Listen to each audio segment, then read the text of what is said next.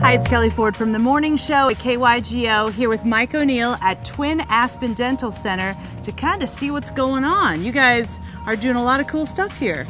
You're in for a treat today. We're actually one of the most technologically advanced dental clinics in the Denver area, and we just want to show you some of the toys we got. Well, let's go. I can't wait to see. Let's go take a look.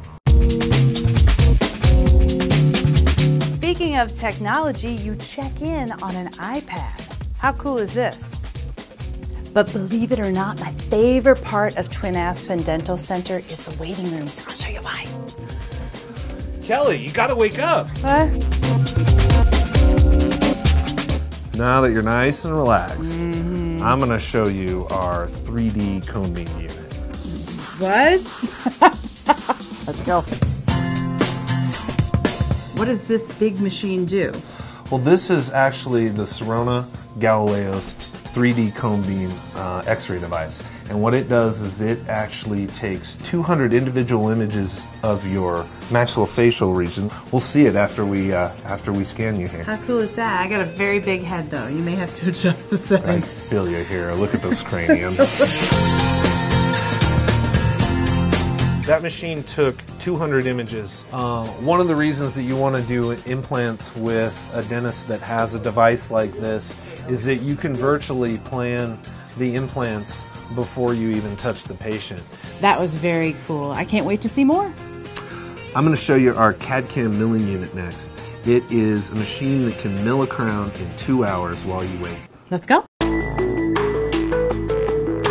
So, Kelly, this is actually our CAD CAM acquisition unit.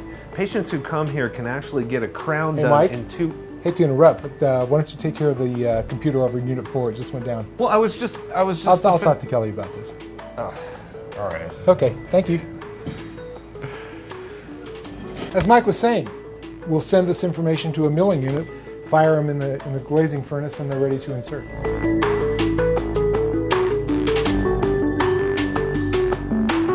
This is a, um, a diode laser, and we're using it in this case to treat muscle pain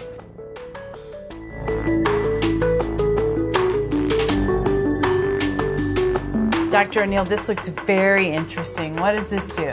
Uh, Mike's using a uh, pharyngometer uh, to test the uh, what's called the patient's uh, pharyngeal compliance uh, in the treatment of uh, obstructive sleep apnea. Dr. O'Neill, after taking the tour here, it's clear you've invested a lot in your practice. Why is that important for you here at Twin Aspen Dental Center? I've always said, Kelly, that, that dentistry for me is both a vocation and an avocation. And I'm a simple man. You know, I, I have one car, one house, one wife, and so we treat uh, our patients. We like to think of them as, as a big family.